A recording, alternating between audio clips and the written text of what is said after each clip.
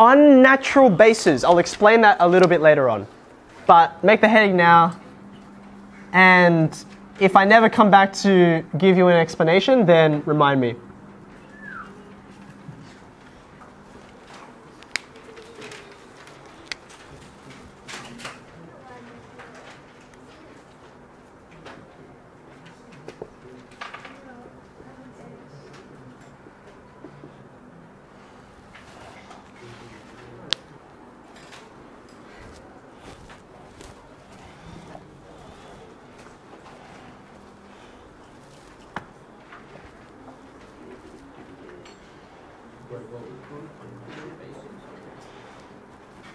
Hmm.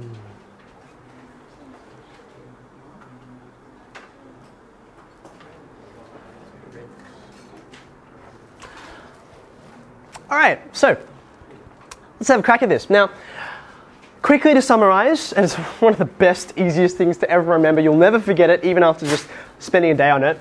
The derivative of e to the x is just e to the x, right? So e to the x is this special number, this 2.7, and again, I'm not going to do it today, but later on, if you're curious, like why is it that number, we'll come to it.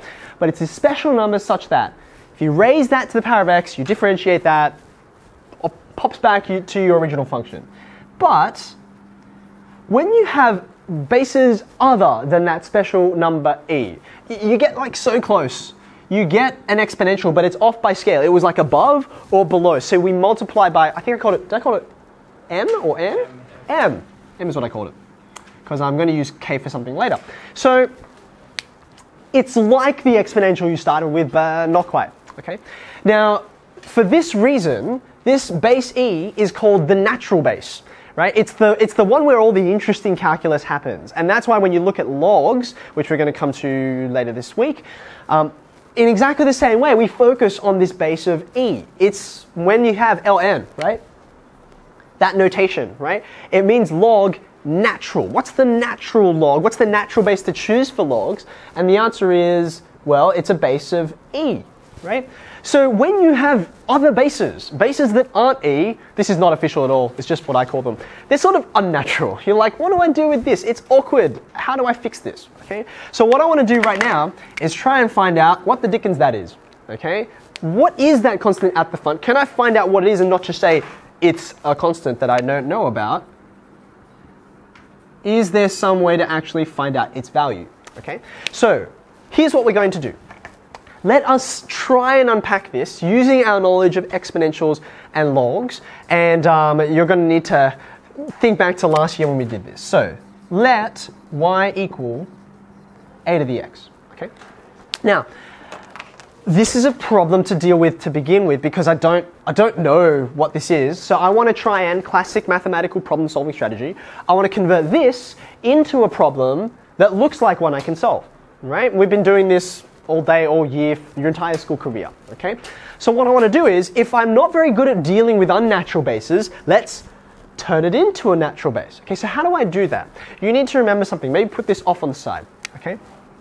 If you take um, log of e to the x, log of e to the x, we know that these guys are kind of opposites of each other, right? So if you think about this guy, natural log is going to be with a base of e.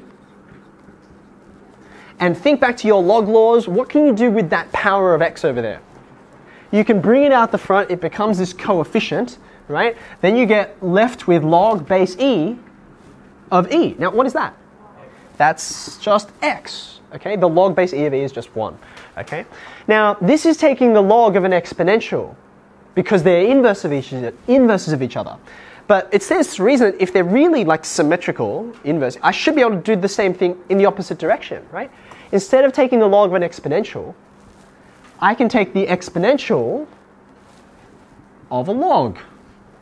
Okay? Now, if you have a think about this, and I'll let you go back to where you did this, if I said, okay, let's make this something like this, right? How would you get back to finding out what this was actually equal to? Hmm. Look at what we've got on the board. All the knowledge you need, all the reminder of your log laws is there. What could you do? How did I get out of here? What did I do? I wrote this as a proper log, worked out what its base was, right? And then I used a log law. Okay, well, I'm to, the way to use log laws is to put some logs in here. So I'm going to take the natural log of both sides. Is that okay? Just log of this, log of that. Do you see where this is going to go? Do you see what's going to happen? Log of k equals, it's in the power, just like it was before. What's going to happen to that power? It's going to come out the front, right? Because that's, that's that. So this is log x log e. I've seen this before, haven't I? Like 30 seconds ago, yeah? Log k equals log x. So k is x. Do you see what I've done?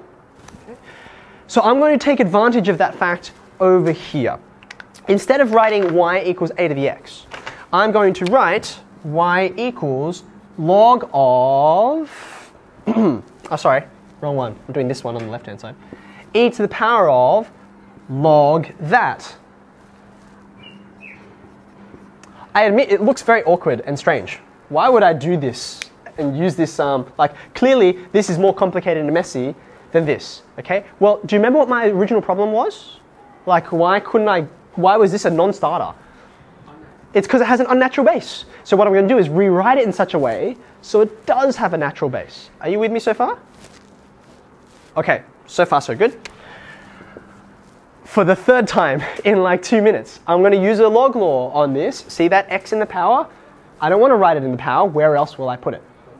As the coefficient over here. So this will come e to the power of x log a. Are you okay with that? Happy? Now I'm pretty much there. I wonder if you could sort of take over from here. Um, I'm going to rub off everything that's green, but if you want me to rewrite it, I can. I can. Um, it's just to help us get to this point, really. Can we differentiate what we can see here? Is this in a form that I can actually work with? I think it is, right? Can't I just use chain rule on this thing? I just use chain rule. So if that's y, then dy on dx equals, okay, what's the inside function? It's x log a. But don't forget, a is just a number, like 2 or 1.5 or 10, whatever you put into Desmos, right? So if a is just a number, then the log of a is also just a number, right? So what's the inside derivative? If the inside function was 5x, you'd say the inside derivative is 5. If the inside function was pi x, you'd say that the inside derivative was pi. Well, this is just log a times x, just like this. So the inside derivative is just log a. Yeah? What's the outside derivative? It's e to the power of blah, blah, blah, blah, right? e to the power of x log a. But that's awkward, isn't it? Like, I only put it into that form so I could do some differentiation with it. This is what that really is. That's where it came from. You see that? You see how all these right-hand sides are all equal? So therefore this is log a, that was the derivative of the inside, and then just a to the x, what you started with. Okay. Now, as you can see, this is a little bit confusing here with the brackets and the a's together. So ordinarily, this is written backwards. We put that a to the x out the front as a coefficient, and then you've got a log a hanging out on the end. Okay. So this solves the mystery of what the m was over here.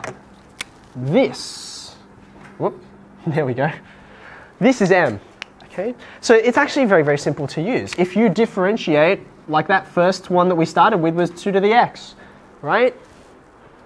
If a is 2, this is just going to be 2 to the x log 2. There's the log a. Okay. Come in, girls. One of the tests of a good rule is that it works with everything else that you've used before, right? Well, this is sort of what we started with. Does this still hold true?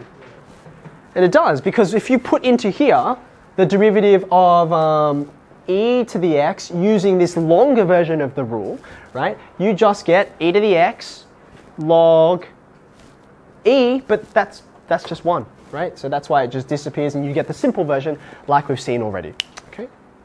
So, when you have a look at question seven, seven, I think it is, um, you'll get all of these unnatural bases, and it's just a slight modification of the rule. But if you want to, you can put a um, big box around this if you like, because this covers now all of the exponentials you'll ever meet, um, whether their bases are nice ones or not so nice. Any questions?